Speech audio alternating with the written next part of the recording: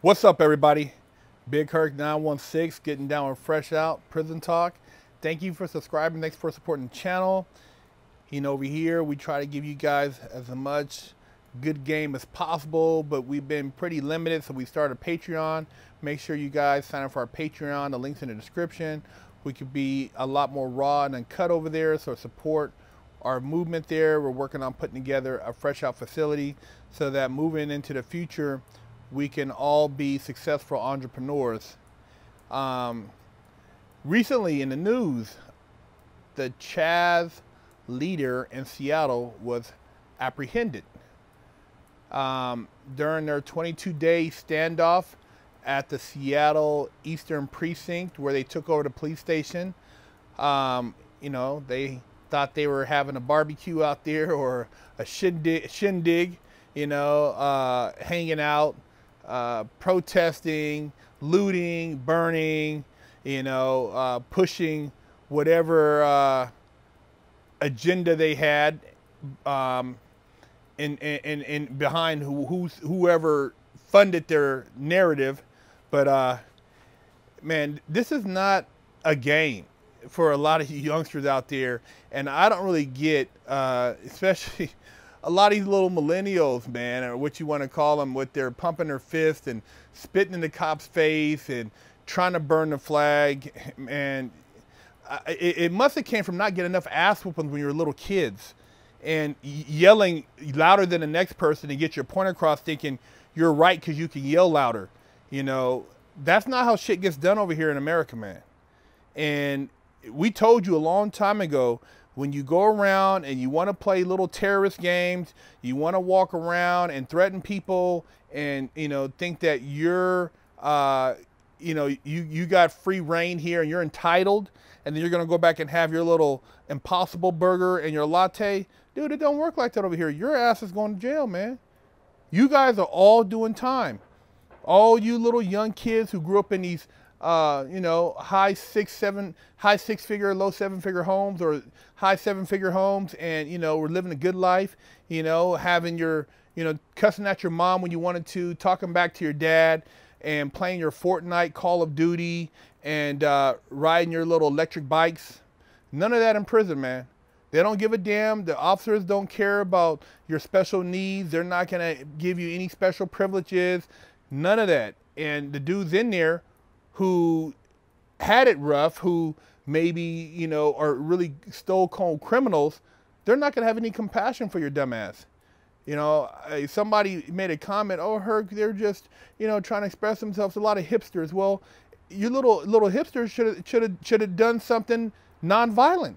You shouldn't have been running around thinking that you can get away with something. Do you think that they really let you take over a police station uh, just because? You know what kind of tactical training they have that they could have shut your ass down. They could have shot all you guys, but they didn't because they were trying to let you go ahead and hang yourselves with your with, with your dumbass actions. All you guys got cases coming. Even the ones who thought you went home early. You guys all got cases. They got a list of everybody who's in there, everybody who branded a firearm. You know, you when you when you go if you go down the street and you wave a gun, even if you don't get arrested, that's brandishing a firearm. You know, that's like five years. Do you know that when you go and you, you, you, if you take a bank building and you ram something into the windows, you throw something, you try to break into it, that's, that's uh, considered a, a attempted burglary, vandalism. All those are charges. You dumb punks, you don't have any right to go and beat up property, burn, you know, burn stuff down, loot, and think that you can, like it's all cool because, oh man, we're, we're behind this little movement. Your mom should have told you better. Your dad should have whooped your ass. Or maybe your mom should have swallowed you. You guys are garbage, man. I'm keeping it raw. You guys are garbage. You, you, you know, I've seen some stuff, man, and I can see where there should have been some some some action taken. But for what you guys were doing and acting up and thinking you got passes and that, you know, you could just get away with that, man. You know, if you get in somebody's face, you know, even people with common sense, you know, black people, when they were protesting during the civil rights movement, they were marching peacefully and were getting water hosed and all this stuff and dogs, and they weren't doing what you were doing. You guys were in the faces. You thought, you guys, do you know what could have happened? You guys are ignorant, man. protesting on the freeway. I just seen recently two people, one got killed, got hit by a car, standing in the middle of the freeway protesting late at night. Who? What are you thinking, man?